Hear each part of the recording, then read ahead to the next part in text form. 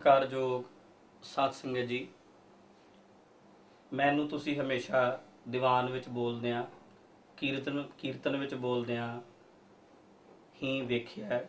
ਪਰ ਅੱਜ ਮੈਂ ਤੁਹਾਡੇ ਸਾਹਮਣੇ ਕੈਮਰੇ ਤੇ ਬੋਲ ਰਿਹਾ ਉਹਦਾ ਕਾਰਨ ਕੀ ਹੈ ਕਿ ਬਹੁਤ ਸਾਰੀਆਂ ਮੈਨੂੰ ਕਾਲਾਂ ਵਿਦੇਸ਼ਾਂ ਚੋਂ ਆ ਰਹੀਆਂ ਨੇ ਜਿਹਦੇ ਕਰਕੇ ਮੈਨੂੰ ਅੱਜ ਇਹ ਤੁਹਾਡੇ ਰੂਬਰੂ ਹੋਣਾ ਪਿਆ ਸੰਗਤ ਦੇ ਸਾਹਮਣੇ ਆਉਣਾ ਪਿਆ ਤੁਸੀਂ ਸਾਰਿਆਂ ਨੇ ਸੁਣਿਆ ਹੈ ਕਿ ਸਰੀ ਦੇ ਵਿੱਚ ਚੱਲਦਾ ਹੋਇਆ ਇੱਕ ਰੇਡੀਓ ਸ਼ੇਰੇ ਪੰਜਾਬ, ਜਿਹਦੇ ਉੱਤੇ ਇੱਕ ਇੰਟਰਵਿਊ ਹੋਈ ਭਾਈ ਸੁਖਵਿੰਦਰ ਸਿੰਘ ਨਾਮਕ ਸਿੰਘ ਦੀ ਜਿਨੇ ਬਹੁਤ ਸਾਰੇ ਸਾਡੇ ਤੇ, ਸਾਡੀ ਸੰਸਥਾ ਤੇ, ਮੇਰੇ ਤੇ ਦੋਸ਼ ਲਾਏ। ਉਹਦੇ ਵਾਸਤੇ ਬਹੁਤ ਸਾਰੀਆਂ ਕਾਲਾਂ ਮੈਨੂੰ ਆ ਰਹੀਆਂ ਨੇ ਔਰ ਬਹੁਤ ਸਾਰੇ ਲੋਕ ਆਪਣੇ ਆਪਣੇ ਤਰੀਕੇ ਨਾਲ ਬੋਲਦੇ ਨੇ, ਉਹ ਮੈਂ ਪੂਰੀ ਇੰਟਰਵਿਊ ਸੁਣੀ। ਤੇ ਦੂਸਰੀ ਗੱਲ ਇਹ ਹੈ ਕਿ ਜਿਸ ਭਾਈ ਸਾਹਿਬ ਜੀ ਕੁਲਦੀਪ ਸਿੰਘ ਹੋਣਾ ਨੇ, ਸੁਖਵਿੰਦਰ ਸਿੰਘ ਦੀ ਇੰਟਰਵਿਊ ਲਈ ਹੈ, ਉਹਨਾਂ ਨੇ ਮੇਰੀ ਇੰਟਰਵਿਊ ਵੀ ਕੀਤੀ ਹੈ। ਉਹਦਾ ਕੁਝ ਹਿੱਸਾ ਸੰਗਤ ਨੇ 20-22 ਮਿੰਟ ਦਾ ਸੁਣ ਲਿਆ। ਪੂਰੀ ਇੰਟਰਵਿਊ ਉਹਨਾਂ ਨੇ ਕੀਤੀ ਹੈ ਔਰ ਉਹਨਾਂ ਨੇ ਇਹ ਗੱਲ ਆਖੀ ਹੈ ਕਿ ਅਸੀਂ ਐਤਵਾਰ ਨੂੰ ਪੂਰਾ ਸੁਣਾਵਾਂਗੇ। ਮੇਰੇ ਨਾਲ ਉਹਨਾਂ ਨੇ ਬੜੇ ਪਿਆਰ ਨਾਲ, ਬੜੇ ਸੋਹਣੇ ਤਰੀਕੇ ਨਾਲ ਗੱਲ ਕੀਤੀ। ਸਾਰੇ ਉਹਨਾਂ ਨੇ ਮੇਰੇ ਤੋਂ ਇੱਕ ਇੱਕ ਕਰਕੇ ਸਵਾਲ ਪੁੱਛੇ ਤੇ ਮੈਂ ਉਹਨਾਂ ਦੇ ਜਵਾਬ ਦਿੱਤੇ। ਪਰ ਹੁਣ ਮੈਂ ਸੰਗਤ ਵਿੱਚ ਆਪਣੇ ਜਵਾਬ ਦੇਣੇ ਚਾਹੁੰਦਾ ਕਿਉਂਕਿ ਬਹੁਤ ਸਾਰੇ ਸਵਾਲ ਸੰਤਾਂ ਤੇ, ਮਹਾਂਪੁਰਸ਼ਾਂ ਤੇ, ਰਾਗੀਆਂ ਤੇ, ਢਾਡੀਆਂ ਤੇ, ਪ੍ਰਚਾਰਕਾਂ ਤੇ ਉੱਠਦੇ ਨੇ, ਉੱਠ ਰਹੇ ਨੇ, ਅੱਗੇ ਤੋਂ ਵੀ ਉੱਠਣਗੇ। ਬਹੁਤ ਸਾਰੇ ਲੋਕ ਮੈਨੂੰ ਇਹ ਸਲਾਹ ਵੀ ਦਿੰਦੇ ਨੇ ਕਿ ਬਾਬਾ ਜੀ ਇਦਾਂ ਦੇ ਲੋਕ ਤੇ ਰੌਲਾ ਪਾਉਂਦੇ ਰਹਿੰਦੇ ਨੇ, ਸਾਨੂੰ ਜਵਾਬ ਦੇਣ ਦੀ ਕੋਈ ਲੋੜ ਨਹੀਂ, ਸਮਾਂ ਆਏਗਾ, ਆਪੇ ਪਤਾ ਲੱਗ ਜਾਏਗਾ ਸੱਚ ਸੱਚ ਹੈ ਝੂਠ ਝੂਠ ਹੈ, ਦੁੱਧ ਪਾਣੀ ਦਾ, ਆਪੇ ਪਤਾ ਦੁੱਧ ਦੁੱਧ ਰਹਿਣਾ ਪਰ ਮੈਂ ਇਹ ਸੋਚਣਾ ਕਿ ਸਾਨੂੰ ਕੁਝ ਲੋਕ ਪਿਆਰ ਕਰਦੇ ਨੇ, ਚਾਹਣ ਵਾਲੇ ਨੇ ਬੜਿਆਂ ਲੋਕਾਂ ਦੀਆਂ ਭਾਵਨਾਵਾਂ ਜੁੜੀਆਂ ਹੋਈਆਂ ਨੇ ਉਹਨਾਂ ਲੋਕਾਂ ਨੂੰ ਸਚਾਈ ਦਾ ਪਤਾ ਹੈ, ਕਿਉਂਕਿ ਉਹ ਇੱਥੇ ਆਉਂਦੇ ਨੇ, ਸਾਡੇ ਕੋਲ ਰਹਿੰਦੇ ਨੇ, ਕਈਆਂ ਸਾਲਾਂ ਤੋਂ ਜੁੜੇ ਹੋਏ ਨੇ। ਪਰ ਕਈ ਨਵੇਂ ਬੰਦੇ ਨੇ ਉਹ ਕੱਲੇ-ਕੱਲੇ ਬੰਦੇ ਨੂੰ ਘੇਰ-ਘੇਰ ਕੇ ਕਹਿੰਦੇ ਨੇ, ਤੁਹਾਡੇ ਬਾਬੇ ਦਾ ਪਤਾ ਲੱਗਾ। ਤੁਹਾਡਾ ਬਾਬਾ ਕਰੈਕਟਰਲੈਸ ਹੈ, ਤੁਹਾਡਾ ਬਾਬਾ ਜਨਾਨੀਆਂ ਰੱਖਦਾ ਹੈ, ਤੁਹਾਡਾ ਬਾਬਾ ਇਦਾਂ ਦਾ। ਉਹ ਬੰਦਿਆਂ ਦੇ ਕੇਸ ਕਤਲ ਕਰਵਾਉਂਦਾ ਹੈ, ਕਈ ਤਰ੍ਹਾਂ ਦੀਆਂ ਗੱਲਾਂ ਇਹ ਸਾਹਮਣੇ ਆਈਆਂ। ਇਸ ਕਰਕੇ ਅਸੀਂ ਇਹਦਾ ਜਵਾਬ ਦੇਣ ਵਾਸਤੇ ਇੰਡੀਆ 'ਚ ਔਰ ਸਾਰੇ ਵਰਲਡ ਵਿੱਚ MH1 channel, Chardi Kala time TV channel, ਦੋ ਚੈਨਲ ਚੱਲਦੇ ਨੇ, ਇਕੱਠਿਆਂ ਉੱਤੇ ਉਹਨਾਂ ਨੂੰ ਬੁਲਾਇਆ ਹੈ।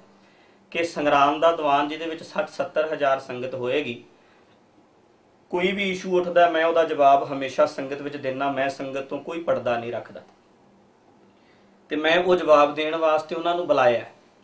ਪਰ 14 ਤਰੀਕ ਅਜੇ ਬਹੁਤ ਦੂਰ ਹੈ ਤੇ ਭਾਈ ਸਾਹਿਬ ਕੁਲਦੀਪ ਸਿੰਘ ਉਹਨਾਂ ਨੇ ਵੀ ਕਹਿਤਾ ਹੈ ਕਿ ਐਤਵਾਰ ਨੂੰ ਅਸੀਂ ਪ੍ਰੋਗਰਾਮ ਕਰਨਾ ਹੈ ਕਿਉਂਕਿ ਉਹਨਾਂ ਕੋਲ ਟਾਈਮ ਦੀ, ਸਮੇਂ ਦੀ ਘਾਟ ਹੈ ਤਾਂ। ਇਸ ਕਰਕੇ ਹੁਣ ਮੈਂ ਇੰਨੀਆਂ ਕਾਲਜ ਮੈਨੂੰ ਵਿਦੇਸ਼ਾਂ ਤੋਂ ਆ ਰਹੀਆਂ ਨੇ ਕਿ ਮੇਰੀ ਮਜਬੂਰੀ ਬਣ ਗਈ ਹੈ ਕਿ ਮੈਂ ਤੁਹਾਨੂੰ ਜਵਾਬ ਦਿਆਂ। ਕਿਉਂਕਿ ਸਾਡੀ ਸੰਗਤ ਸਾਰੀ ਚੜ੍ਹਦੀ ਕਲਾ ਨਾਲ ਇਸ ਗੱਲ ਦਾ ਉੱਤਰ ਦੇਵੇ। ਮੈਂ ਚਾਹੁੰਦਾ ਕਿ ਐਤਵਾਰ, ਸੰਗਰਾਂਦ ਵਾਲੇ ਦਿਨ ਮੈਂ ਸਾਰੀ ਸੰਗਤ ਸਾਹਮਣੇ, ਆਪਣੇ ਪਰਿਵਾਰ ਸਾਹਮਣੇ ਆਪਣਾ ਪੱਖ ਪੇਸ਼ ਕਰਾਂ। ਮੈਂ ਆਪਣਾ ਸਪਸ਼ਟੀਕਰਨ ਦੇਵਾਂ। ਉਸ ਤੋਂ ਅਗਲੇ ਦਿਨ ਹੀ ਭਾਵੇਂ ਮੇਰੀ ਜਾਨ ਨਿਕਲ ਜਾਏ, ਮੈਨੂੰ ਕੋਈ ਪਰਵਾਹ ਨਹੀਂ। ਮੈਂ ਮਰਨ ਤੋਂ ਨਹੀਂ ਡਰਦਾ। ਅੱਜ ਜਾਨ ਨਿਕਲ ਜਾਏ ਪਰ ਹੁਣ ਮੈਂ ਇੱਕ ਅਰਦਾਸ ਕਰ ਰਿਹਾ ਸਤਿਗੁਰੂ ਦੇ ਚਰਨਾਂ 'ਚ ਕਿ ਸੱਚੇ ਪਾਤਸ਼ਾਹ, ਮੈਨੂੰ ਤੁਸੀਂ ਸੰਗਰਾਮ ਤੱਕ ਜ਼ਰੂਰ ਜਿਉਂਦਾ ਰੱਖੋ। ਕਿਉਂਕਿ ਮੈਂ ਦਾਗ ਲਵਾ ਕੇ ਦੁਨੀਆ 'ਚੋਂ ਜਾਣਾ ਨਹੀਂ ਚਾਹੁੰਦਾ। ਕਿਉਂਕਿ ਮੈਂ ਹਮੇਸ਼ਾ ਸੜਕਾਂ ਤੇ ਰਹਿਣਾ ਰੋਡਾਂ ਤੇ ਰਹਿਣਾ ਔਰ ਸੰਸਾਰ ਵਿੱਚ ਵਿਚਰਨੇ ਆ, ਕੀ ਪਤਾ ਕਿਹੜੇ ਵੇਲੇ ਸਵਾਸ ਨਿਕਲ ਜਾਣੇ ਨੂੰ ਐਡਾ ਵੱਡਾ ਦਾਗ ਲੈ ਕੇ ਮੈਂ ਨਹੀਂ ਜਾਣਾ ਚਾਹੁੰਦਾ। ਮੈਂ ਚਾਹੁੰਦਾ ਕਿ ਮੈਂ ਜੋ ਜੋ ਇਹ ਗੱਲਾਂ ਕਹੀਆਂ ਗਈਆਂ ਨੇ, ਇਹਨਾਂ ਨੂੰ ਮੈਂ ਸਪਸ਼ਟ ਜ਼ਰੂਰ ਹੁਣ ਆਪਾਂ ਗੱਲ ਕਰਨੇ ਆ ਸੁਖਵਿੰਦਰ ਸਿੰਘ ਦੀ। ਸੁਖਵਿੰਦਰ ਸਿੰਘ ਬਲਿਆਲ ਨਗਰ ਦਾ ਬੱਚਾ ਹੈ। ਆਇਆ ਸੀ ਸਾਡੇ ਕੋਲ, ਮੈਨੂੰ ਬੜਾ ਚੰਗਾ ਲੱਗਦਾ ਸੀ ਕਿਸੇ ਸਮੇਂ, ਵੀ ਜਗਿਆਸੂ ਵੀ ਲੱਗਦਾ ਸੀ। ਮੈਂ ਪਿਆਰ ਵੀ ਬੜਾ ਕਰਦਾ ਸੀ। ਉਹ ਮੇਰੇ ਨਾਲ ਥੋੜਾ ਸਮਾਂ, ਉਹਨੇ ਮੇਰੇ ਨਾਲ ਸਾਈਡ ਤੇ ਬੈਠ ਕੇ 3-4 ਸਾਲ ਢੋਲਕ ਵਜਾਈ ਹੈ। ਸਾਡਾ ਮੇਨ ਢੋਲਕਈਆ ਗੁਰਦੇਵ ਸਿੰਘ ਹੈ। ਉਹ ਮੇਰੇ ਨਾਲ ਹਮੇਸ਼ਾ ਢੋਲਕ ਵਜਾਉਂਦਾ ਉਹ ਸਾਈਡ ਤੇ ਢੋਲਕ ਵਜਾਉਂਦਾ ਸੀ। 3-4 ਸਾਲ ਉਹ ਮੇਰੇ ਕੋਲ ਰਿਹਾ। ਉਸ ਤੋਂ ਬਾਅਦ ਉਹ ਕਿਸੇ ਬੀਬੀ ਨਾਲ ਗੱਲ ਕਰਦਾ ਸੀ ਜਿਹਨੂੰ ਉਹਨੇ ਆਪਣੀ ਭੈਣ ਬਣਾਇਆ ਹੋਇਆ ਸੀ। ਉਹਨੇ ਆਪਣੇ ਇੰਟਰਵਿਊ ਵਿੱਚ ਵੀ ਉਹਦਾ ਜ਼ਿਕਰ ਕੀਤਾ, ਉਹ 45 ਸਾਲ ਦੀ ਹੈ।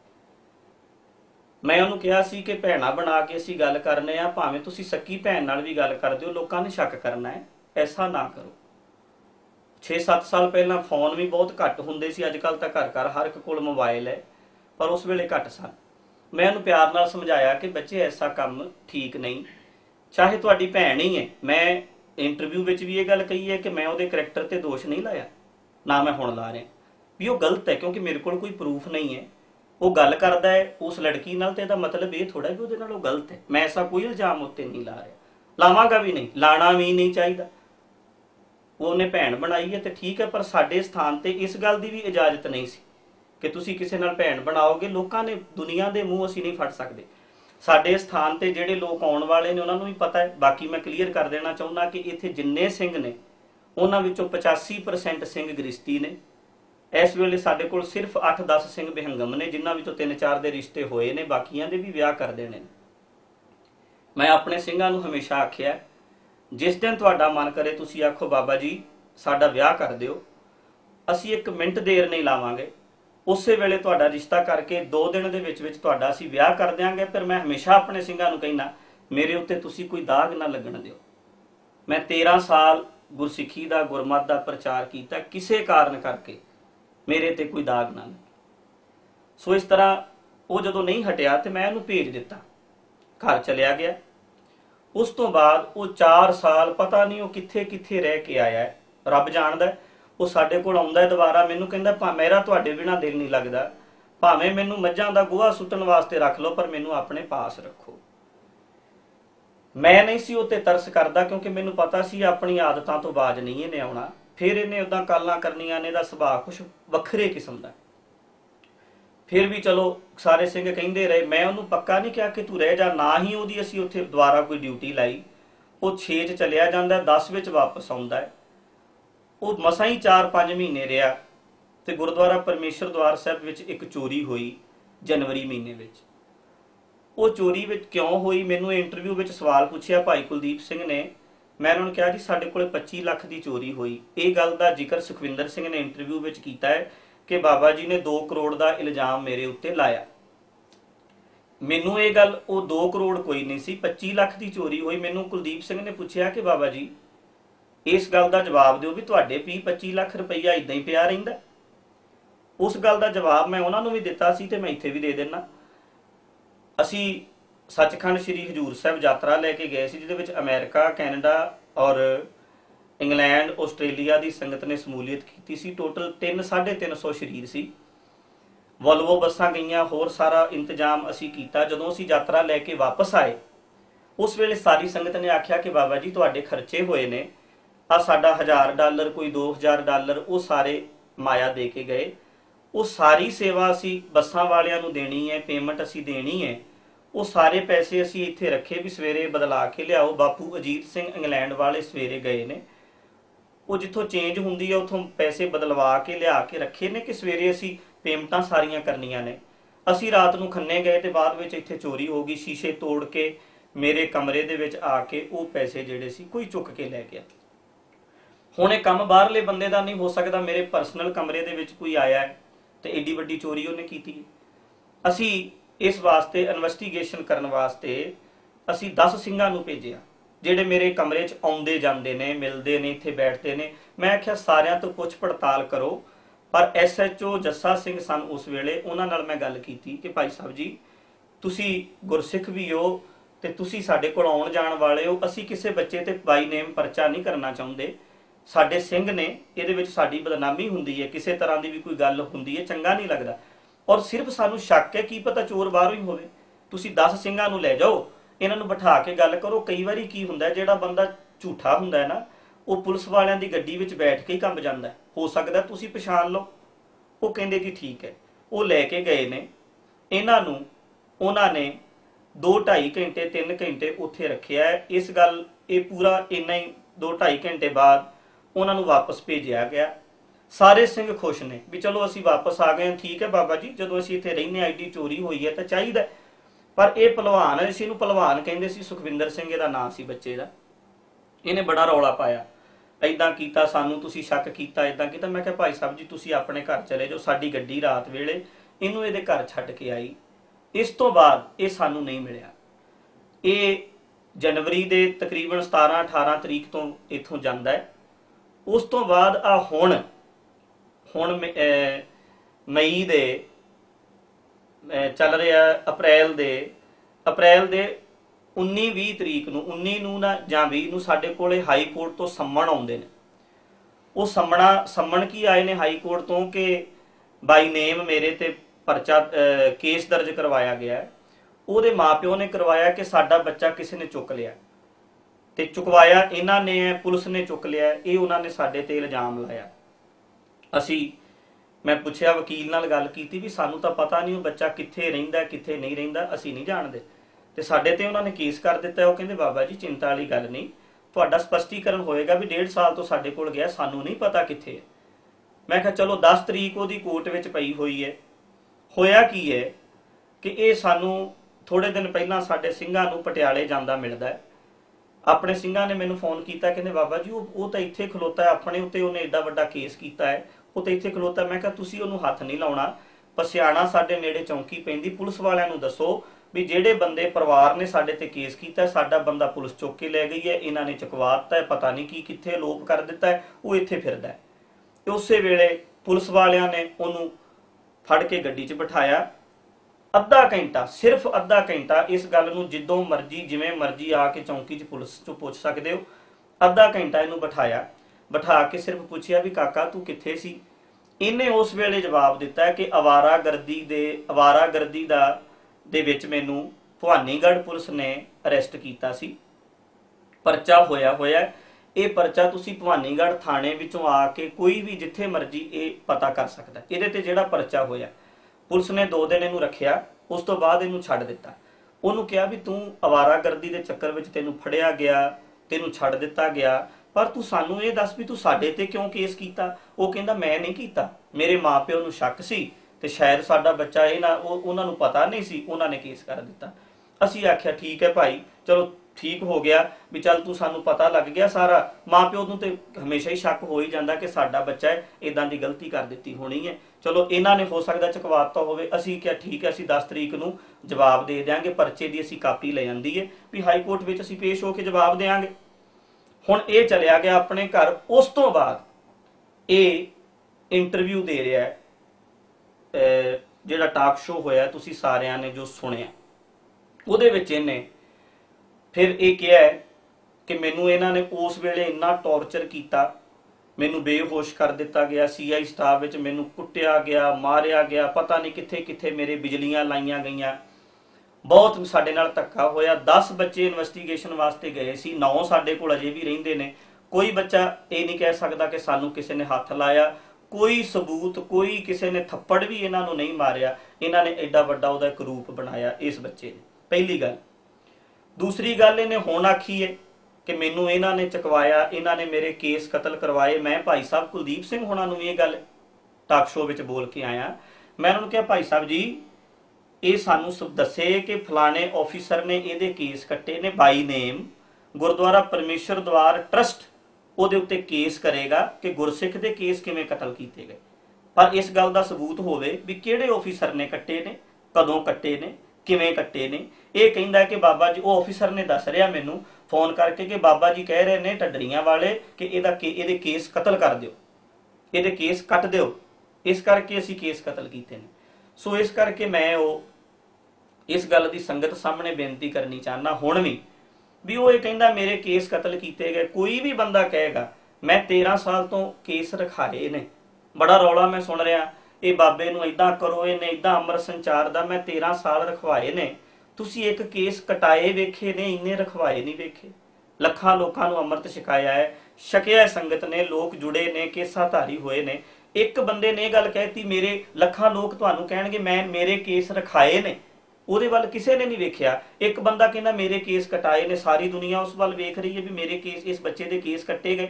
ਤੇ ਮੈਂ ਏਡਾ ਮੂਰਖ ਨਹੀਂ ਆ ਕਿਸੇ ਬੰਦੇ ਦੀ ਪੱਗ ਨੂੰ ਹੱਥ ਪੈ ਜਾਂਦਾ ਹੈ। ਤੇ ਸਾਰੀ ਦੁਨੀਆ 'ਚ ਕਿੱਡਾ ਇਸ਼ੂ ਖੜਾ ਹੋ ਜਾਂਦਾ ਹੈ। ਕਿਸੇ ਬੰਦੇ ਦੇ ਅਸੀਂ ਕੇਸ ਕਤਲ ਕਰ ਦਿਆਂਗੇ, ਸਾਨੂੰ ਪਤਾ ਹੈ, ਉਹਦੇ ਕੇਸਾਂ ਨੂੰ ਕੈਂਚੀ ਨਹੀਂ ਲਵਾਉਣ ਲੱਗੇ, ਅਸੀਂ ਆਪਣੀਆਂ ਜੜ੍ਹਾਂ ਕੱਟਣ ਲੱਗੇ ਹਾਂ। 13 ਸਾਲ ਅਸੀਂ ਗੁਰਸਿੱਖੀ ਦਾ ਪ੍ਰਚਾਰ ਕੀਤਾ ਹੈ। ਐਡਾ ਵੱਡਾ ਬੱਜਰੁਕ ਰਹਿਤ ਜਿਹਨੂੰ ਮੈਂ ਕਹਿੰਦਾ ਰਿਹਾ, ਸੰਗਤ ਸਮਝ ਸਕਦੀ ਹੈ ਕਿ ਮੈਂ ਐਡਾ ਵੱਡਾ ਘਣਾਉਣਾ ਪਾਪ ਮੈਂ ਕਰ ਸਕਦਾ, ਮੈਂ ਕਿਸੇ ਨੂੰ ਆਖਾਂ ਵੀ ਇਹ ਕੇਸ ਕਤਲ ਕਰਾਵੇ। ਮੈਂ ਬੇਨਤੀ ਕਰਕੇ ਇਹ ਆਪ ਜੀ ਨੂੰ ਕਹਿਣਾ ਚਾਹੁੰਦਾ, ਇਸ ਗੱਲ ਦਾ ਉਹ ਸਬੂਤ ਦੇਵੇ ਕਿ ਕਿਹੜੇ ਫੋਨ ਤੋਂ ਕਿਹੜੇ ਆਫੀਸਰ ਨੂੰ ਕਾਲ ਹੋਈ ਹੈ। ਕਿਹੜੇ ਆਫੀਸਰ ਨਾਲ ਮੇਰੀ ਗੱਲ ਹੋਈ ਹੈ? ਕੋਈ ਡਿਟੇਲਸ ਕਢਾ ਲਓ, ਸਾਡੇ ਫੋਨਾਂ ਦੀਆਂ ਕਢਾਓ ਆਫੀਸਰਾਂ ਦੇ ਫੋਨਾਂ ਦੀਆਂ ਕਢਾਓ। ਨਿਰਪੱਖ ਕੋਈ ਕਿਸੇ ਤਰੀਕੇ ਦੀ ਇਹਦੀ ਜਾਂਚ ਹੋ ਸਕਦੀ ਹੈ। ਕੇਸਾਂ ਵਾਲੀ ਗੱਲ ਜਿਹੜੀ ਹੈ, ਇੱਥੇ ਮੈਂ ਹੁਣ ਕਲੀਅਰ ਕਰਦਾ। ਇਹ ਪਹਿਲਾ ਪੁਆਇੰਟ ਉਹਨੇ ਰੱਖਿਆ ਮੇਰੇ ਕੇਸ ਕਲਾਸ ਕਰੈਕਟਰ ਕਰਾਰ ਤੇ। ਦੂਜੀ ਗੱਲ ਉਹ ਕਹਿ ਰਿਹਾ ਕਿ ਸਾਨੂੰ ਧਮਕੀਆਂ ਮਿਲ ਰਹੀਆਂ ਨੇ।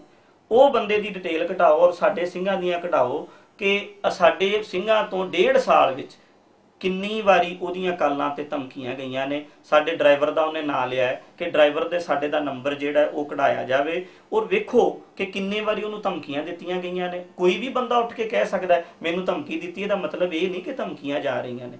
ਇਹ ਪ੍ਰੀ ਪਲਾਨ ਸਾਰਾ ਕੁਝ ਕੀਤਾ ਜਾ ਰਿਹਾ ਹੈ ਕਿ ਤੁਸੀਂ ਇਸ ਤਰੀਕੇ ਸਿਰ ਇਲਜ਼ਾਮ ਲਾਓ। ਦੂਜੀ ਗੱਲ ਇਹ ਹੈ, ਜਿਸ ਤਰ੍ਹਾਂ ਭਾਈ ਸਾਹਿਬ ਸਿੰਘ ਨੇ ਬਾਬਾ ਮਾਨ ਸਿੰਘ ਜੀ ਨੂੰ ਆਖਿਆ, ਮੈਂ ਇਹ ਗੱਲ ਉਸ ਵੇਲੇ ਵੀ ਬੋਲੀ ਹੈ ਕਿ ਬਾਬਾ ਮਾਨ ਸਿੰਘ ਜੀ ਨੇ ਇੱਕੋ ਗੱਲ ਕਹੀ ਹੈ ਕਿ ਰੱਬ ਜਾਣਦਾ ਮੈਂ ਜਵਾਬ ਨਹੀਂ ਦੇਣਾ। ਉਹਨਾਂ ਦੇ ਪ੍ਰੇਮੀ ਕਹਿੰਦੇ ਰਹੇ ਨੇ, ਬਾਬਾ ਜੀ ਬੋਲੋ। ਤੁਸੀਂ ਬੋਲੋ। ਅਸੀਂ ਤੁਹਾਡੇ ਨਾਲ ਖੜਨੇ ਆ।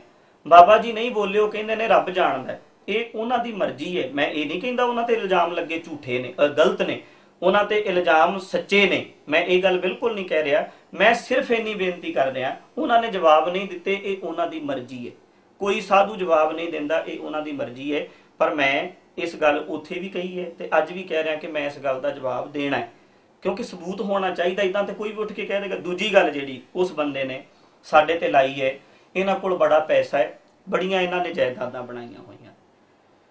ਇਸ ਗੱਲ ਵਾਸਤੇ ਮੈਂ ਬੇਨਤੀ, ਜਿਹੜੇ ਸਾਨੂੰ ਸੁਣਨ ਵਾਲੇ ਲੋਕ ਨੇ, ਉਹਨਾਂ ਨੇ ਸੁਣਿਆ ਜਾਂ ਸਾਡੇ ਪ੍ਰੋਗਰਾਮਾਂ ਤੇ ਵੇਖਦੇ ਨੇ, ਇੱਥੇ ਆਉਂਦੇ ਨੇ, ਸਭ ਨੂੰ ਪਤਾ ਕਈ ਜਗ੍ਹਾ ਮੈਂ ਲਾਈਵ ਵਿੱਚ ਵੀ ਇਹ ਗੱਲ ਬੋਲ ਚੁੱਕੀ ਕਿ ਗੁਰਮਖੋ, ਮੈਂ ਜਿੰਨਾ ਚਿਰ ਜਿਉਣਾ ਇੱਥੇ ਅਸੀਂ ਅੱਜ ਤੱਕ ਕਦੇ ਕਿਸੇ ਤੋਂ ਪੈਸਾ ਮੰਗਿਆ ਨਹੀਂ।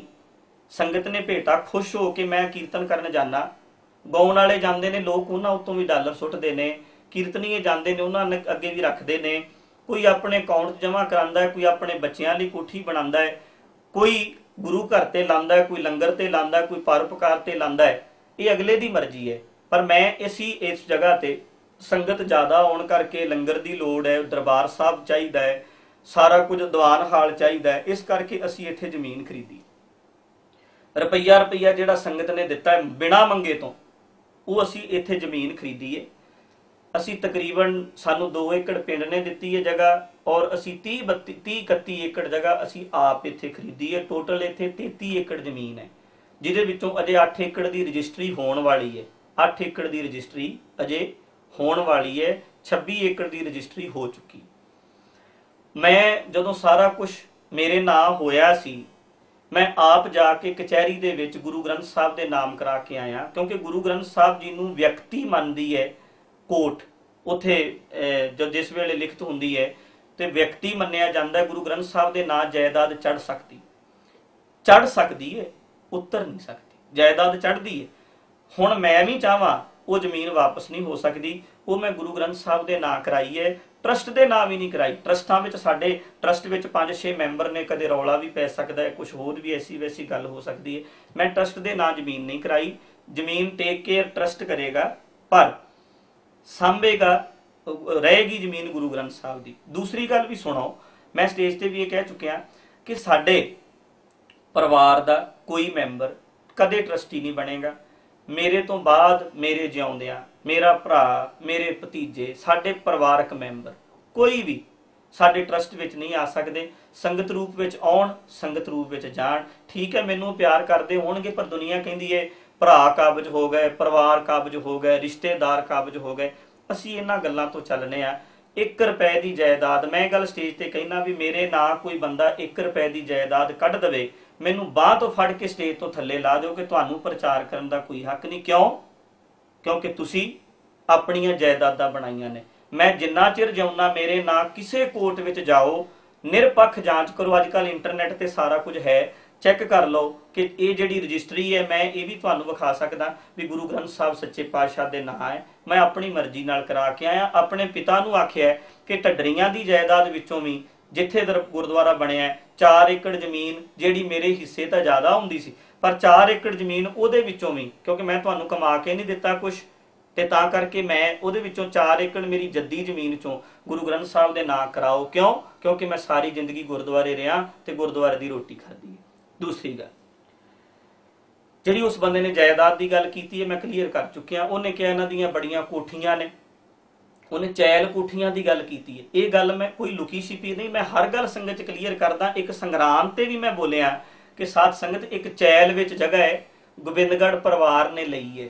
ਗੋਬਿੰਦਗੜ੍ਹ ਵਾਲੇ ਪਰਿਵਾਰ ਨੇ ਇੱਕ ਜਗ੍ਹਾ ਲਈ ਹੈ, ਸਾਨੂੰ ਕਹਿੰਦੇ ਨੇ ਉੱਥੇ ਗੁਰਦੁਆਰਾ ਬਣਾਓ। ਉਹਨਾਂ ਦੇ ਉਹ ਨਾਮ ਜਗ੍ਹਾ ਹੈ, ਉੱਥੇ ਜਾਓ। ਉੱਥੇ ਉਸ ਬੰਦੇ ਨੇ ਕਿਹਾ, ਇਹ ਜਾਂਦੇ ਨੇ। ਇਹ ਦੂਸਰੀ ਗੱਲ ਉਹ ਕਰੈਕਟਰ ਦੀ ਕਰਦਾ ਹੈ। ਹੁਣ ਤੀਜੀ ਗੱਲ ਮੈਂ ਸ਼ੁਰੂ ਕਰਨ ਲੱਗਾ, ਕਰੈਕਟਰ ਦੀ। ਉਹਨੇ ਕਰੈਕਟਰ ਦੀ ਗੱਲ ਕਰਦੇ ਆ। ਮੈਂ ਪਹਿਲਾਂ ਕਹਿ ਚੁੱਕਿਆ ਕਿ ਮੈਂ ਉਹਦੇ ਕਰੈਕਟਰ ਤੇ ਦੋਸ਼ ਨਹੀਂ ਲਾ ਰਿਹਾ ਕਿਉਂਕਿ ਮੈਂ ਕੁਝ ਵੇਖਿਆ ਨਹੀਂ। ਉਹਨੇ ਮੇਰੇ ਕਰੈਕਟਰ ਤੇ ਦੋਸ਼ ਲਾਇਆ ਹੈ।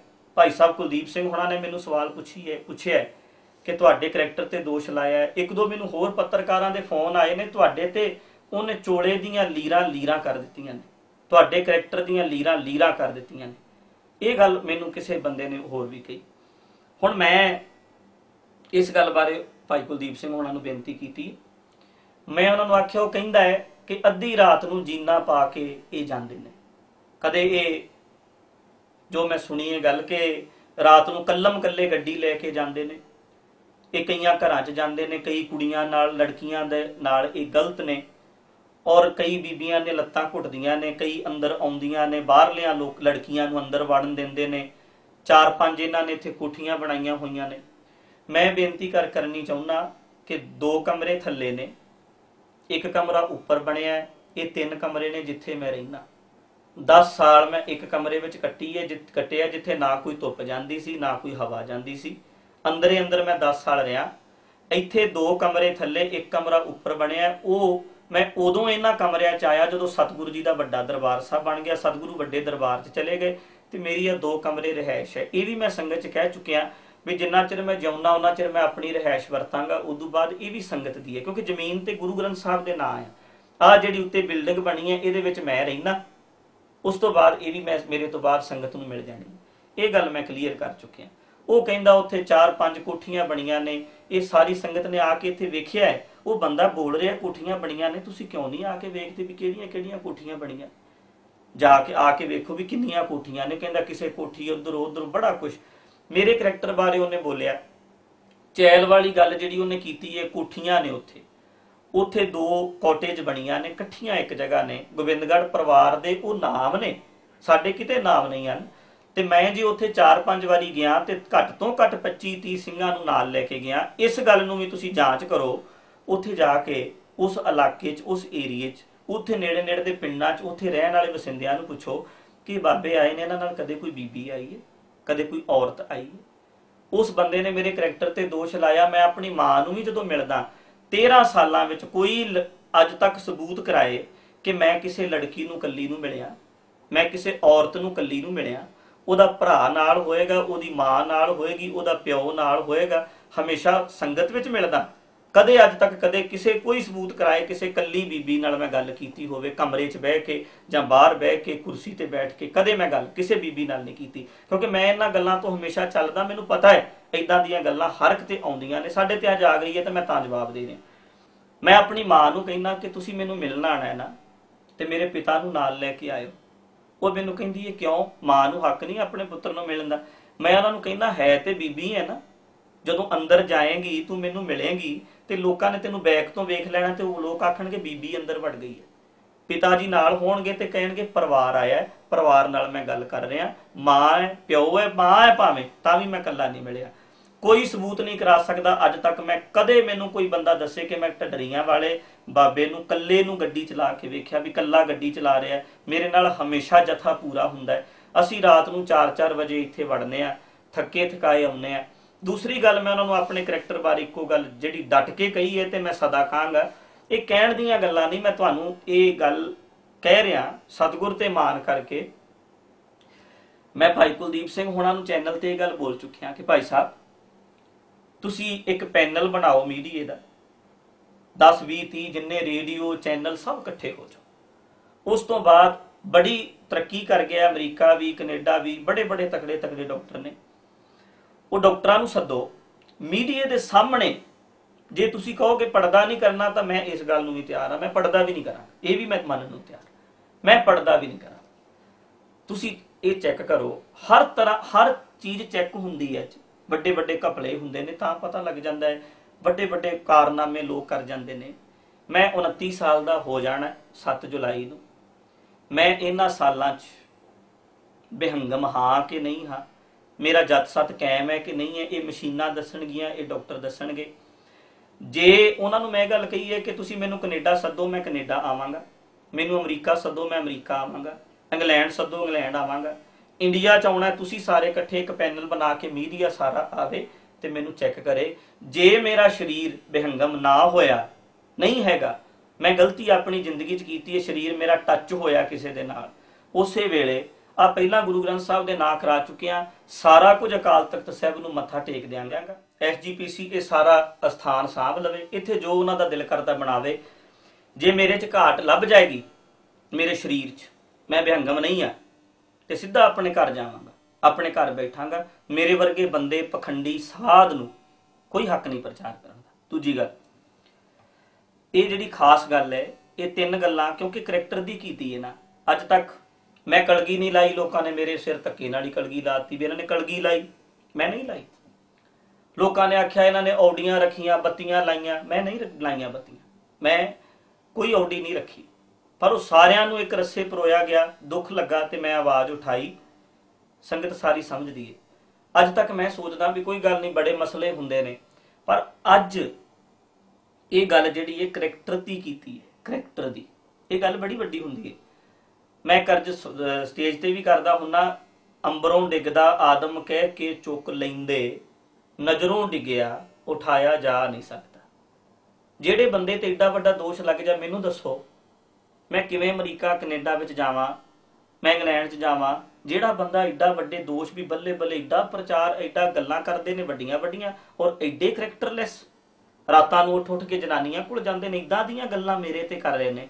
ਮੈਂ ਬੇਨਤੀ ਕਰਨਾ ਵੀ ਇਹ ਸਾਰੀ ਸੰਗਤ ਦੇ ਚਰਨਾਂ 'ਚ। ਸਾਡੇ, ਮੈਨੂੰ ਪਤਾ ਹੈ ਕਿ ਬਹੁਤ ਸਾਰੇ ਲੋਕ ਨੇ ਜਿਹੜੇ ਸਾਧੂਆਂ ਸੰਤਾਂ ਦੇ ਬੜੇ ਖਿਲਾਫ ਨੇ। ਉਹ ਆਪਣੇ ਤਰੀਕੇ ਨਾਲ ਸਹੀ ਨੇ। ਸਾਨੂੰ ਕੋਈ ਬੰਦਾ ਆਖੇ ਨਾ ਕਿ ਸੰਤ ਨਹੀਂ ਹੁੰਦੇ, ਅਸੀਂ ਕਦੇ ਨਹੀਂ ਮੰਨਦੇ। ਕਿਉਂ? ਕਿਉਂਕਿ ਅਸੀਂ ਮਹਾਂਪੁਰਸ਼ਾਂ ਦੀ ਸੰਗਤ ਕੀਤੀ ਹੈ ਤੇ ਸਾਨੂੰ ਉਹਨਾਂ ਨੇ ਗੁਰੂ ਗ੍ਰੰਥ ਸਾਹਿਬ ਨਾਲ ਜੋੜਿਆ ਸੱਚ ਦਾ ਰਾਹ ਵਿਖਾਇਆ ਇਸੇ ਤਰ੍ਹਾਂ ਜਿਹੜੇ ਦੂਜੇ ਲੋਕ ਹੁੰਦੇ ਨੇ, ਉਹਨਾਂ ਨੂੰ ਕਹੋ ਵੀ ਸੰਤ ਹੁੰਦੇ ਨੇ। ਉਹਨਾਂ ਦੇ ਅੰਦਰ ਵੀ ਇਹ ਗੱਲ ਬੈਠੀ ਹੈ ਕਿਤੇ ਨਾ ਕਿਤੇ ਵੀ ਸੰਤ ਨਹੀਂ ਹੁੰਦੇ। ਅਸੀਂ ਉਹਨਾਂ ਨੂੰ ਮਨਾਣਾ ਨਹੀਂ ਕਿ ਅਸੀਂ ਸੰਤ। ਜਾਂ ਅਸੀਂ ਸੰਤਾਂ, ਸੰਤ ਵੀ ਸੁਰਤ ਦਾ ਨਾਂ ਹੈ। ਮੈਂ ਇੱਕ ਬੇਨਤੀ ਸੰਗਤ ਵਿੱਚ ਕਰਦਾ ਹੁੰਨਾ, ਹਰ ਸੰਤ ਹੈ, ਹਰ ਗੁਰਸਿੱਖ ਹੈ, ਹਰ ਕੀ ਸਾਧੂ ਹੈ।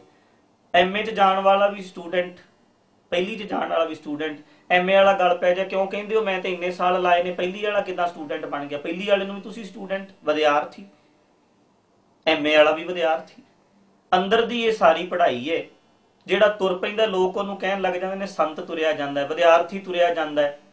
ਹਜੇ ਉਹ ਪਹਿਲੀ ਚ ਉਹਦਾ ਗਿਆਨ ਕਿੰਨਾ ਹੈ, ਤਾਂ ਕਿਸੇ ਨੇ ਨਹੀਂ ਵੇਖਿਆ। ਸਾਡੀ ਅੰਦਰਲੀ ਕਿੰਨੀ ਕੁ ਪਾਵਰ ਹੈ, ਤਾਂ ਕਿਸੇ ਨੇ ਨਹੀਂ ਵੇਖੀ। ਬਾਹਰੀ ਪਹਿਰਾਵਾ ਸਾਡਾ ਵੇਂਦੇ ਨੇ। ਸੁਰਤ ਦਾ ਨਾਂ ਸੰਤ ਹੈ। ਤੁਰ ਤੁਰਦਾ ਜਿਹੜਾ ਵੀ ਹੈ, ਸਾਡੇ ਵਰਗਾ ਚੋਲਾ ਪਾ ਲੈਂਦਾ, ਲੋਕੇ ਬਾਬੇ ਨੇ, ਸੰਤ ਨੇ, ਇੱਕ ਗੱਲ ਪ੍ਰਚਲਿਤ ਹੋ ਜਾਂਦੀ ਹੈ ਤੇ ਸਾਡੇ ਲਈ ਵੀ ਹੋ ਗਈ ਹੈ। ਪਰ ਆ ਜਿਹੜੀਆਂ ਗੱਲਾਂ ਕਈਆਂ ਨੇ, ਮੈਂ ਤਾਂ ਜਵਾਬ ਦੇਣ ਲੱਗਾ ਕਿਉਂਕਿ ਸਾਨੂੰ ਲੋਕ ਚਾਹਣ ਵਾਲੇ ਨੇ ਨਾ ਕਈ ਪਿਆਰ ਕਰਦੇ। ਤੇ ਮੈਂ ਉਹਨਾਂ ਵਾਸਤੇ ਇਹ ਜਵਾਬ ਦੇ ਰਿਹਾ ਕਿ ਜਿਹੜਾ ਸਾਨੂੰ ਕੋਈ ਸਾਧੂ ਸਮਝ ਕੇ ਪਿਆਰ ਕਰਦਾ ਹੈ, ਕੋਈ ਮੈਨੂੰ ਪੁੱਤਰ ਕਹਿੰਦਾ ਹੈ, ਕੋਈ ਮੈਨੂੰ ਆਪਣਾ ਬੱਚਾ ਕਹਿੰਦਾ ਹੈ, ਕੋਈ ਮੈਨੂੰ ਆਪਣਾ ਭਰਾ ਕਹਿੰਦਾ ਹੈ, ਤੇ ਉਹ ਸਾਰਿਆਂ ਦੇ ਦਿਲ ਟੁੱਟਦੇ ਮੈਂ ਉਹਨਾਂ ਸਾਰਿਆਂ ਨੂੰ ਇਹ ਰਿਕੁਐਸਟ ਬੇਨਤੀ ਕਰਨੀ ਚਾਹੁੰਦਾ ਕਿ ਆਹ ਵੀਡੀਓ ਮੈਂ ਨੈਟ ਤੇ ਪਵਾਵਾਂਗਾ ਬੇਨਤੀ ਕਰਕੇ ਵੀ ਜਿੱਥੇ ਮਰਜ਼ੀ, ਜੇ ਤੁਸੀਂ ਮੈਨੂੰ ਪੁੱਤਰ, ਆਪਣਾ ਪੁੱਤਰ, ਸਾਧੂ ਜੋ ਸਮਝਦੇ ਹੋ, ਜਿੱਥੇ ਮਰਜ਼ੀ ਤੁਸੀਂ ਪਰਖੋ। ਸਾਡੇ ਵਿੱਚ ਇਦਾਂ ਦੀ ਕੋਈ ਘਾਟ ਨਹੀਂ ਹੈ ਜਿੱਦਾਂ ਦੀ ਬਣਾਈ ਗਈ ਹੈ। ਦੂਜੀ ਗੱਲ ਸਮੇਂ-ਸਮੇਂ ਸਿਰ ਜਿਹੜੇ ਮਸਲੇ ਆਏ ਆ ਭਾਵੇਂ ਅਮਰ ਸੰਚਾਰ ਦੀ ਗੱਲ ਹੈ, ਉਹ ਜਦੋਂ ਵੀ ਕੀਤੀ ਹੈ ਵਿਦੇਸ਼ਾਂ 'ਚ ਵੀ ਗਿਆ ਇੱਥੇ ਨਹੀਂ ਕਿ ਇੱਥੇ ਹੀ ਕੀਤਾ ਸਬੂਤ ਨੇ ਕੈਨੇਡਾ ਵਾਲੇ ਕਹਿਣਗੇ ਸਾਡੇ 'ਚ ਇੰਨੇ ਅਮਰ ਸੰਚਾਰ ਹੋਇਆ ਸੀ ਜਦੋਂ ਆਏ ਸੀ। ਅਮਰੀਕਾ ਵਾਲੇ ਕਹਿਣਗੇ ਮਹੀਨਾ ਟੂਰ ਲਾਉਂਦੇ ਨੇ ਸੱਤ ਵਾਰੀ ਅੰਮ੍ਰਿਤ ਛਕਾ ਕੇ ਗਏ। ਆਸਟ੍ਰੇਲੀਆ ਵਾਲੇ ਬੋਲਣਗੇ ਨਿਊਜ਼ੀਲੈਂਡ ਗਿਆ ਸਾਂ ਉਹ ਕਹਿਣਗੇ ਆਏ ਸੀ 5 ਦਿਨ 7 ਦਿਨ ਪ੍ਰਚਾਰ ਕੀਤਾ ਸੀ ਇੰਨਿਆਂ ਨੇ ਅੰਮ੍ਰਿਤ ਛਕਿਆ ਸੀ। ਇੰਡੀਆ ਦਾ ਕੱਲਾ ਕੱਲਾ ਪਿੰਡ ਬੋਲੇਗਾ, ਕੱਲਾ ਕੱਲਾ ਜ਼ਿਲ੍ਹਾ ਬੋਲੇਗਾ, ਜਿੱਥੇ ਜਿੱਥੇ ਮੈਂ ਗਿਆ। ਸੰਗਰਾਮ ਤੇ ਆ ਕੇ ਵੇਖੋ, ਜਿਨ੍ਹਾਂ ਨੇ ਨਹੀਂ ਵੇਖਿਆ, ਜਾਂ ਜੇ ਸੀੜੀਆਂ ਵੇਖੋ, ਕਿ ਜੇ 50000 ਬੰਦਾ ਬੈਠਾ ਹੁੰਦਾ ਤਾਂ ਉਹਦੇ ਵਿੱਚੋਂ 2-400 ਹੋਣਗੇ ਜਿਹੜੇ ਨਗੁਰੇ ਹੋਣ, ਬਾਕੀ ਸਭ ਅੰਮ੍ਰਿਤਧਾਰੀ ਸੰਗਤ ਹੁੰਦੀ ਹੈ।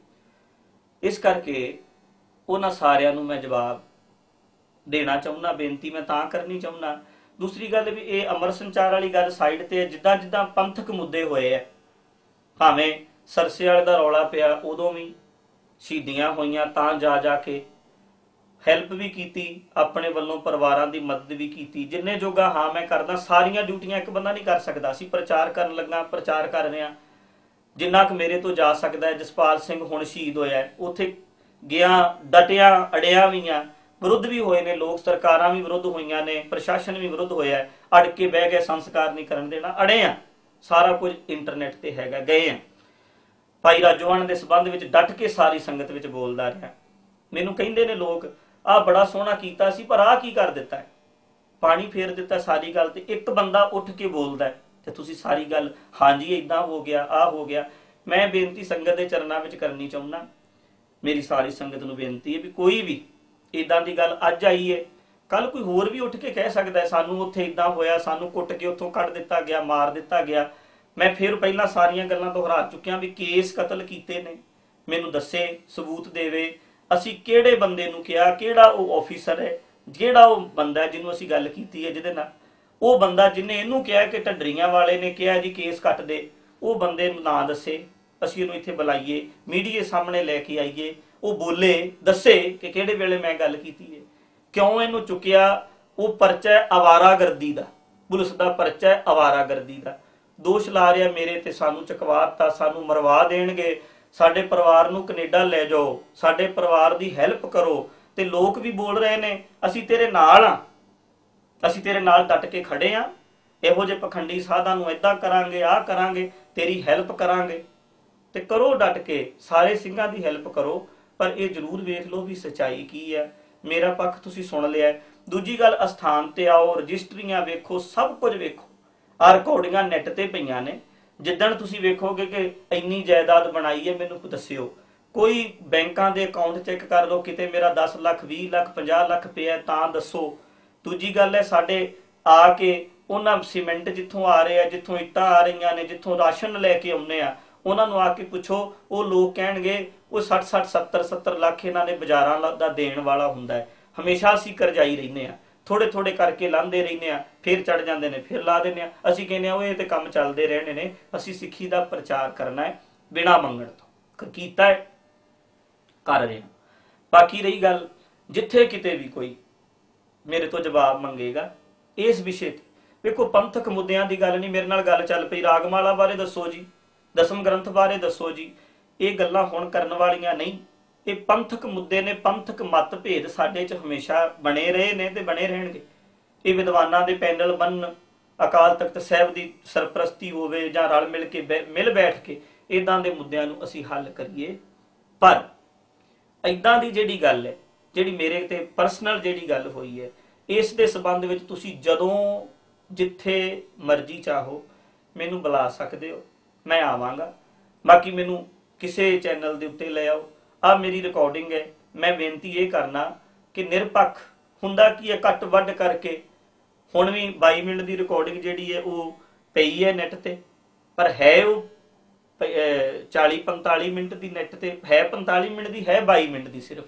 ਉਹਨਾਂ ਨੇ ਕਿਹਾ ਕਿ ਅਸੀਂ ਪਾ ਦੇਣੀ। ਮੈਂ ਉਹਨਾਂ ਨੂੰ ਦੋਸ਼ ਨਹੀਂ ਦਿੰਦਾ ਕਿਉਂਕਿ ਮੇਰੇ ਨਾਲ ਉਹਨਾਂ ਨੇ ਬੜੇ ਪਿਆਰ ਨਾਲ। ਉੱਥੇ ਉਹ ਕਿਵੇਂ ਬੋਲ ਰਹੇ ਨੇ, ਇਹ ਵੱਖਰਾ ਚੈਪਟਰ ਹੈ। ਪਰ ਮੇਰੇ ਨਾਲ ਉਹ ਕਿਵੇਂ ਬੋਲੇ ਨੇ ਕੁਲਦੀਪ ਸਿੰਘ ਹੋਣੀ? ਉਹਨਾਂ ਨੇ ਮੇਰੇ ਨਾਲ ਬਹੁਤ ਸੋਹਣੀ ਗੱਲ ਕੀਤੀ ਹੈ। ਮੈਂ ਉਹਨਾਂ ਦਾ ਧੰਨਵਾਦੀ ਹਾਂ ਕਿਉਂਕਿ ਉਹਨਾਂ ਨੇ ਮੇਰਾ ਪੱਖ ਜਾਣਿਆ ਤੇ ਮੈਂ ਚਾਹੁੰਦਾ ਕਿ ਜਿਹੜਾ ਵੀ ਬੰਦਾ ਜਿਹਦੀ ਵੀ ਗੱਲ ਸੁਣਦਾ ਹੈ, ਜਰੂਰ ਸੁਣੋ। ਉਸ ਤੋਂ ਬਾਅਦ ਫਿਰ ਮੇਰਾ ਪੱਖ ਜਰੂਰ ਜਾਣੋ। ਇੱਥੇ ਆਓ, ਵੇਖੋ, ਪਰਖੋ। ਫਿਰ ਜਿਹੜਾ ਤੁਸੀਂ ਰਿਜ਼ਲਟ ਕੱਢੋਗੇ, ਸਾਡੇ ਸਿਰ ਮੱਥੇ ਤੇ ਹੋਏਗਾ। ਮੈਂ ਸਾਰੀ ਸੰਗਤ ਨੂੰ ਇਹ ਬੇਨਤੀ ਕਰਨੀ ਚਾਹੁੰਦਾ, ਆਪਣੇ ਪਿਆਰ ਵਾਲਿਆਂ ਨੂੰ ਵੀ ਤੇ ਦੂਜਿਆਂ ਨੂੰ ਵੀ।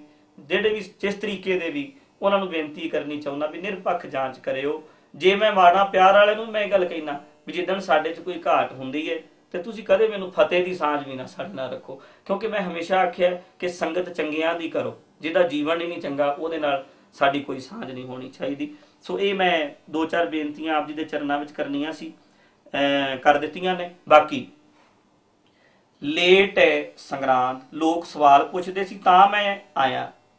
ਕੁਲਦੀਪ ਸਿੰਘ ਹੋਣਾ ਨੇ ਵੀ ਟਾਈਮ ਲਾ ਦੇਣਾ, ਉਹਨਾਂ ਨੇ ਜਿੱਤ ਮੈਂ ਐਤਵਾਰ ਟਾਕ ਸ਼ੋਅ ਕਰਨਾ ਇਸ ਕਰਕੇ ਉਹ ਟਾਈਮ ਅਜੇ ਲੇਟ ਹੈ, ਤਾਂ ਮੈਂ ਪਹਿਲਾਂ ਆ ਗਿਆ ਨੈਟ ਤੇ। ਮੈਂ ਕੈਨੇਡਾ ਇੱਕ ਵਾਰੀ ਗਿਆ, ਸੌ ਵੀ ਨਹੀਂ ਸਾ ਭੱਜਿਆ। ਉੱਥੇ ਬੈਠਾ ਰਿਹਾ ਸਾ ਪੰਜ ਦਿਨ ਕਲਗੀ ਵਾਲੀ ਗੱਲ ਚੱਲੀ ਸੀ। ਮੈਂ ਆਖਿਆ ਸੀ, ਮੈਂ ਕਲਗੀ ਨਹੀਂ ਲਾਈ। ਮੇਰੀ ਵੀਡੀਓ ਨੂੰ ਤੋੜ ਮਰੋੜ ਕੇ ਪੇਸ਼ ਕੀਤਾ ਗਿਆ ਵੀ ਇਹਨਾਂ ਨੇ ਮੱਥਾ ਟਿਕਾਇਆ। ਉਹ ਪੰਜ ਸੱਤ ਮੱਥਾ ਟੇਕ ਗਏ, ਉਹਨਾਂ ਦੀ ਵੀਡੀਓ ਬਣੀ, ਟੇਕਿਆ ਹੈ। ਉਹਦੀ ਮੈਂ ਮਾਫੀ ਵੀ ਮੰਗੀ ਵੀ ਜੇ ਤੁਹਾਨੂੰ ਲੱਗਦਾ ਗੁਰਮਤ ਉਲਟ ਹੈ, ਤਾਂ ਮੈਂ ਮਾਫੀ ਮੰਗਦੀ। ਉਦੋਂ ਵੀ ਨਹੀਂ ਸਾਂ ਭੱਜਿਆ ਤੇ ਹੁਣ ਵੀ ਨਹੀਂ ਭੱਜਿਆ। ਉਸੇ ਵੇਲੇ ਮੈਨੂੰ ਪਤਾ ਹੁੰਦਾ ਤਾਂ ਮੈਂ ਉਸੇ ਵੇਲੇ ਨੇ ਆ ਜਾਣਾ ਸੀ ਇਹ ਤੇ ਪਰ ਮੈਂ ਥੋੜਾ ਲੇਟ ਗਿਆ, ਪਰ ਮੈਂ ਬੋਲੇ, ਬੋਲ ਕੇ ਆਇਆ ਟਾਈਮ ਪੂਰਾ ਲਾ ਕੇ ਆਇਆ। ਹੁਣ ਮੈਂ ਸੰਗਤ ਦੇ ਚਰਨਾਂ ਵਿੱਚ ਬੇਨਤੀ ਕਰਦਾ ਵੀ ਕਦੋਂ ਵੀ, ਜਦੋਂ ਵੀ ਕੈਨੇਡਾ, ਉਦੋਂ ਵੀ ਨਹੀਂ ਸਾ ਭੱਜਿਆ, ਹੁਣ ਵੀ ਨਹੀਂ ਭੱਜਾਂਗਾ ਕਦੇ। ਕਦੇ ਨਹੀਂ ਭੱਜਾਂਗਾ। ਜਵਾਬ ਦੇਵਾਂਗਾ, ਜੇ ਮੇਰੇ ਜੀਵਨ ਤੇ ਉਂਗਲ ਕਰੋਗੇ, ਸਬੂਤ ਲਿਆਣਾ ਪੈਣਾ ਆ ਸਬੂਤ ਹੈ। ਕੋਈ ਵੀ ਬੰਦਾ ਉੱਠ ਕੇ, ਹੋ ਸਕਦਾ ਕੋਈ ਲੜਕੀ ਵੀ ਕੱਲ ਖੜੀ ਕਰ ਦੇਵੇ ਕੋਈ। ਲੜਕੀ ਕੱਲ ਨੂੰ ਕੋਈ ਕੱਪੜੇ ਪਾੜ ਕੇ ਖਲੋ ਜਾਂਦੀ, ਮੇਰੇ ਨਾਲ ਇਦਾਂ ਕੀਤਾ, ਉਹਦਾ ਵੀ ਸਬੂਤ ਹੋਣਾ ਚਾਹੀਦਾ ਹੈ ਕਿ ਉਹ ਸੱਚਮੁੱਚ ਇਦਾਂ ਦੀ ਗੱਲ ਹੋਈ ਹੈ। ਕੋਈ ਵੀ ਹੋ ਸਕਦਾ ਹੈ, ਅੱਜ ਤੇ ਇੱਕ ਬੰਦਾ ਬੋਲ ਰਿਹਾ ਪਰ ਮੈਂ ਬੇਨਤੀ ਆਪ ਜੀ ਦੇ ਚਰਨਾਂ ਵਿੱਚ ਕਰਦਾ ਵੀ ਜਰੂਰ ਚੰਗੀ ਤਰ੍ਹਾਂ ਪਰਖ ਲਿਓ, ਵੇਖ ਲਿਓ ਜਿਹੜੀਆਂ ਜਿਹੜੀਆਂ ਗੱਲਾਂ ਉਹਨੇ ਕੀਤੀਆਂ ਨੇ, ਉਹਦਾ ਮੈਂ ਜਵਾਬ ਆਪ ਜੀ ਦੇ ਚਰਨਾਂ 'ਚ ਦੇ ਦਿੱਤਾ। ਦੂਜੀ ਗੱਲ ਮੇਰੀ ਇਹ ਵੀ ਹੈ ਵੀ ਉਹਨੇ ਬੋਲ ਕੇ ਸਾਨੂੰ ਸ- ਸਵਾਲ ਪੁੱਛੇ ਨੇ ਤੇ ਬੋਲ ਕੇ ਹੀ ਮੈਂ ਇਹਦਾ ਜਵਾਬ ਦੇ ਦਿੱਤਾ ਸੰਗਤ ਦੇ ਵਿੱਚ। ਤੇ ਮੇਰੀ ਇਹ ਵੀ ਬੇਨਤੀ, ਕੋਈ ਬੰਦਾ ਭਾਵੁਕ ਨਾ ਹੋਵੇ। ਕੋਈ ਬੰਦਾ ਕਰੜਾ ਨਾ ਹੋਵੇ, ਕੋਈ ਵੀ ਬੰਦਾ ਇਦਾਂ ਦੀ ਗੱਲ ਨਾ ਕਰੇ, ਅੱਜ ਤੱਕ ਅਸੀਂ ਕਿਸੇ ਨੂੰ ਥੱਪੜ ਨਹੀਂ ਮਾਰਨ ਦਿੱਤਾ। ਅਸੀਂ ਸੜਕਾਂ ਤੇ ਲੰਘਦੇ ਆ ਕਦੇ ਕਦੇ ਕਿਸੇ ਤਰ੍ਹਾਂ ਦੀ ਗੱਲ ਨਹੀਂ ਅੱਜ ਤੱਕ 13 ਸਾਲਾਂ 'ਚ ਹੋਣ ਦਿੱਤੀ। ਤੇ ਮੈਂ ਇਹ ਵੀ ਚਾਹੁੰਦਾ, ਉਹ ਸਿੰਘ ਆਪਣੀ ਚੜ੍ਹਦੀ ਕਲਾ 'ਚ ਰਵੇ।